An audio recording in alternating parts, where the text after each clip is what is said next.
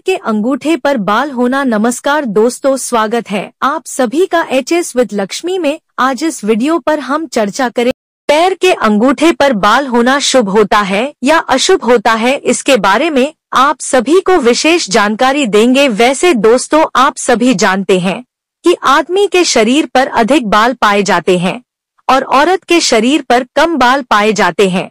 इसके पीछे कई साइंटिफिक रीजन भी होते हैं। जैसे आँखों पर बाल ना हो तो आँखों के अंदर कोई भी कचरा पड़ सकता है। इसी प्रकार से हर स्थान पर बाल होने के पीछ किसी न किसी प्रकार का कारण अवश्य होता है। इसी कारण से बाल को शुभ मानना और अशुभ मानना यह एक मूर्खता है। वैसे सामुद्रिक शास्त्र के अंदर भी कई प्रकार के हाथ, पैर, चेहरे के बालों के बारे में वर्णन किया गया है। भविष्य से जुड़े कई सवालों के जवाब के बारे में पता चलता है।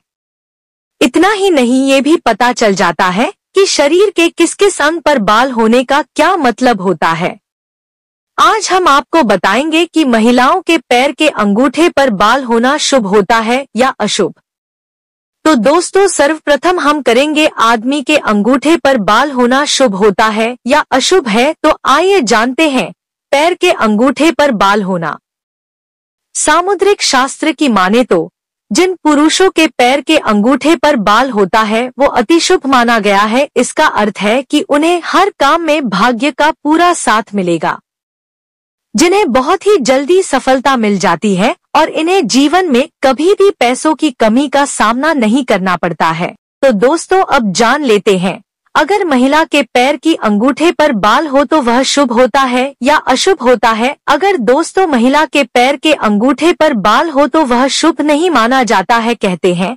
अगर महिला के पैर के अंगूठे पर बाल है तो वह भाग्यशाली नहीं है, वैसे बात करते हैं। बालों के बारे में तो महिला के शरीर पर बाल नहीं होते हैं, क्योंकि प्रकृति ने महिलाओं को ऐसे ही बनाया है।